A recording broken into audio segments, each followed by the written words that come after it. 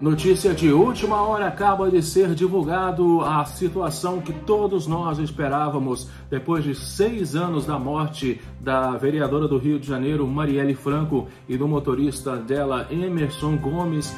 Finalmente, a Polícia Federal Brasileira consegue colocar a mão nos mandantes, sim, aqueles que pediram a cabeça de Marielle e de Emerson.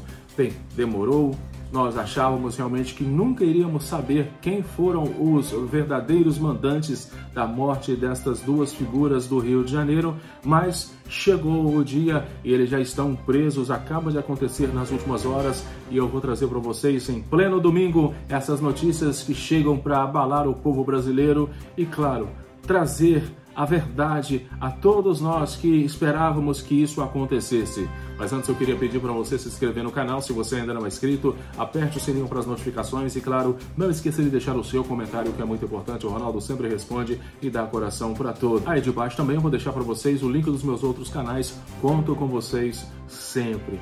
Gente, estamos falando de pessoas muito fortes do Rio de Janeiro.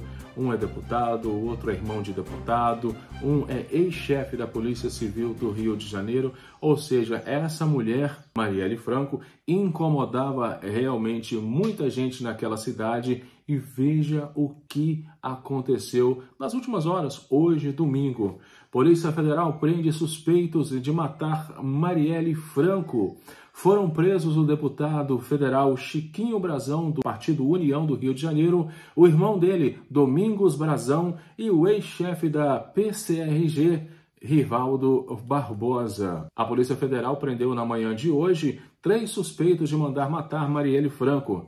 A Operação Mura Incorporation apura os homicídios da vereadora e do motorista Anderson Gomes e a tentativa de homicídio da assessora Fernanda Chaves. Foram presos o deputado federal Chiquinho Brazão, do Partido União do Rio de Janeiro, o irmão dele, Domingos Brazão, que é conselheiro do Tribunal de Contas do Rio de Janeiro, e o ex-chefe da Polícia Civil do Rio de Janeiro, Rivaldo Barbosa. A ação conta com a participação da Procuradoria-Geral da República, PGR, e do Ministério Público do Rio de Janeiro, MPRG. As prisões aconteceram dez dias após o assassinato de Marielle e de Anderson completar seis anos. Foram cumpridos três mandatos de prisão preventivo e doze de busca e apreensão, expedidos pelo Supremo Tribunal Federal, o STF, todos na cidade do Rio de Janeiro.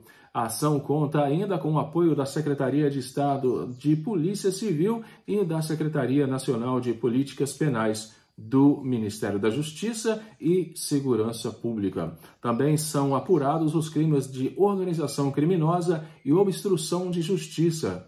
Conforme prevê o artigo 797 do Código Penal, os mandados de natureza criminal podem ser cumpridos em qualquer horário, inclusive aos domingos e dias feriados. Bem, gente, Chiquinho e Domingos Brazão têm um reduto político e eleitoral em Jacarepaguá, bairro da zona oeste do Rio de Janeiro, historicamente dominado pela milícia. Chiquinho Brazão foi citado na delação de Rony Lessa, assassino confesso de Marielle Franco. Ele foi vereador na Câmara Municipal do Rio de Janeiro pelo MDB por 12 anos, inclusive durante os dois primeiros anos de mandato de Marielle entre 2016 e 2018, quando foi assassinada. Em 2018, o Brazão foi eleito pela Câmara dos Deputados pelo Avante e em 2022 foi reeleito para a Casa Legislativa pelo União Brasil.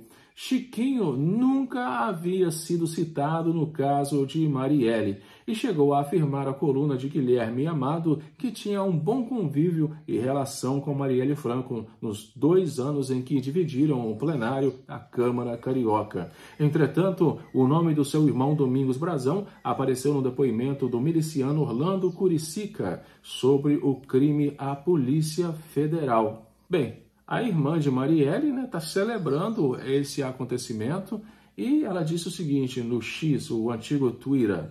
A irmã de Marielle, Aniele Franco, ministra da Igualdade Racial, celebrou as prisões. Só Deus sabe o quanto sonhamos com esse dia. Hoje é mais um grande passo para conseguirmos as respostas que tanto nos perguntamos nos últimos anos.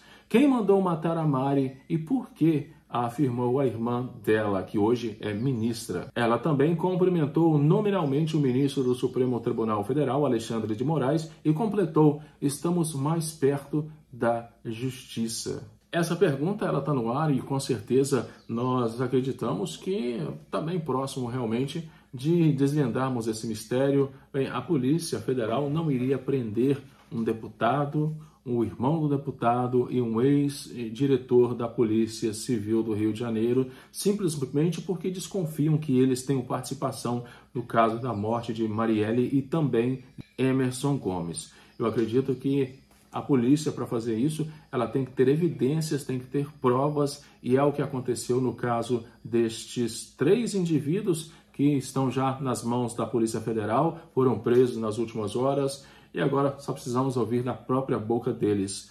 Por que fizeram isso? Por que tiraram a vida de uma pessoa que trabalhava em prol da população do Rio de Janeiro, principalmente a população mais pobre daquela cidade. Seis anos se passaram, muito tempo, nós achávamos realmente que nunca iríamos poder saber ou desvendar essa situação e quem seria aí os mandantes. Mas graças a Rony Lessa, que foi aquele que atirou, aquele que disparou contra a vereadora, tirando a vida dela e também do seu motorista, o Emerson Gomes, nós ficamos sabendo hoje quem são os mandantes, quem realmente tinha interesse em tirar a vida de Marielle. Com certeza, por situações políticas, por quê? Porque ela realmente estava tendo uma votação enorme no Rio de Janeiro, tinha a possibilidade de chegar até a prefeitura ou até o governo do Rio de Janeiro e isso acabou incomodando. E vocês sabem né, que o Rio de Janeiro é uma cidade linda, é uma cidade maravilhosa, é uma cidade que atrai milhões de turistas por todo o ano várias partes do mundo né, querem conhecer o nosso Rio de Janeiro, mas também é uma das cidades mais violentas, mais corruptas e é uma vergonha saber que o povo do Rio de Janeiro tem que passar por essas situações. Eu imagino que tanto dinheiro é desviado todos os anos vindo de pessoas como esses que deveriam estar trabalhando em prol da população, em prol da melhoria da infraestrutura da cidade e acabam realmente levando o caos para uma cidade que merecia ser cuidada com muito carinho. Um grande abraço para vocês, vamos estar aguardando as novas informações em breve e esperamos que estes mandantes, que são pessoas muito fortes politicamente e financeiramente, nunca mais saiam da cadeia. Até o próximo vídeo.